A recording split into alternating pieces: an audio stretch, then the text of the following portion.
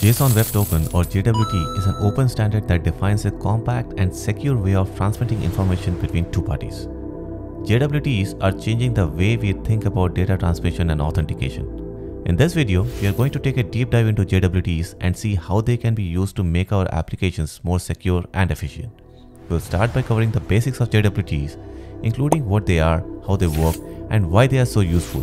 We will also code to generate the JWT, by the end of this video, you'll have a solid understanding of JWTs and how they can be used to improve your applications. So, what are you waiting for? Let's get started. To understand JWT, it is important to first understand session tokens. Session tokens are encrypted strings that are used to identify a session between two parties. Here is an example of how session tokens work. Imagine you are calling a customer service. You tell the representative your problem and they take some notes. At the end of the call, they give you a case number. The case number is a session token that identifies your conversation with the representative. The next time you call customer service, you can provide the same case number and this will allow your representative to quickly look up your conversation and continue helping you. Now let's think the same with clients and servers. Imagine you want to create an account on a website. You fill out a registration form and click submit. The website sends you a token that is stored in browser cookies. This token allows you to access the website and its feature. Session tokens are a good way to keep track of your users and their sessions. However, they have one big drawback. They can only be used on the server that issued them. For example, let's say you log into your bank's website. The bank server will issue a token that allows you to access the website. However, if you try to access the bank's mobile app, the app won't be able to verify your token because it was issued by a different server. This is where JSON Web Token come in.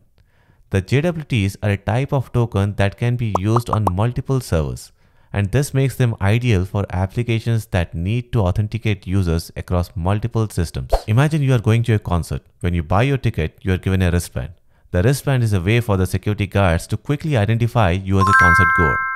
JWT tokens are like wristbands for the internet. They are a way for servers to quickly identify users and their permissions and this makes it easier for users to access the resources they need, and it makes it more secure for servers to protect their data.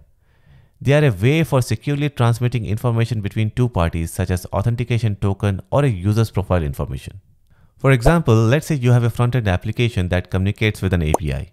You can use a JWT to authorize the user and check their role before allowing them to access the API. This can help you to protect your API from unauthorized access. To do this securely, the server will issue the user a JWT that contains the username, role, and random token. The user's browser will then store the token in local storage. And when the user makes a request to an API, they will include the token in the request header. The API will then verify the token and check the user's role. If the user is authorized to access the API, the API will respond with the requested data. Otherwise, the API will return an error. This method of authorization is very efficient because it only requires the user to authenticate once. The user can then access any API that they are authorized to access without having to re-authenticate each time. JWTs are also very useful in distributed systems and microservices architecture. In this type of architecture, there are many different services that need to communicate with each other and JWTs can be used to securely authenticate users and services and to perform role checks. This can help to ensure that only authorized user and services can access each other. The private public key signing method is a very secure way to sign JWTs.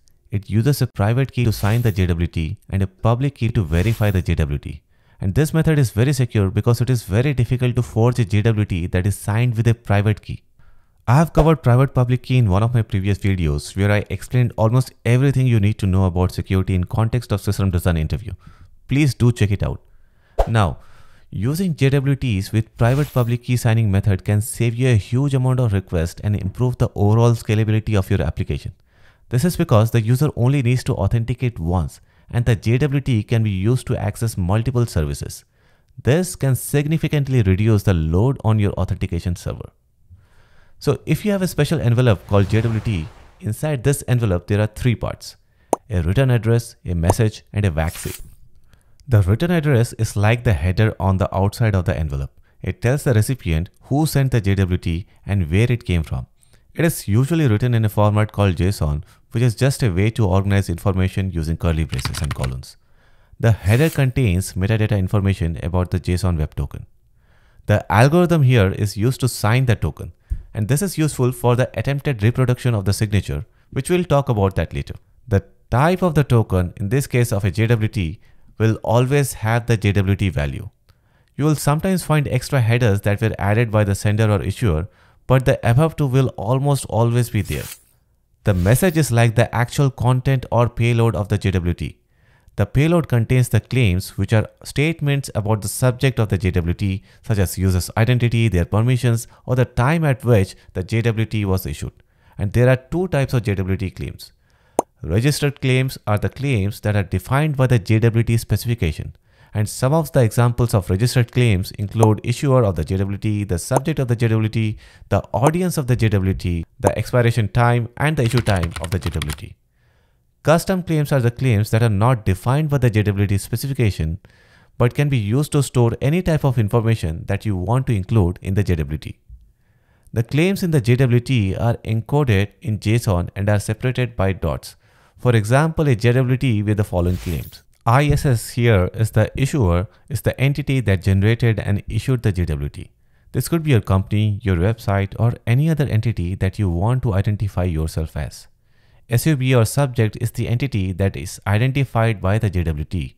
This could be a user, a device, or any other entity that you want to authenticate. This is the subject of your token. This is the entity that is identified by the token. AUD or audience is the target audience of the JWT. This could be a specific group of users such as your beta testers or it could be a public audience.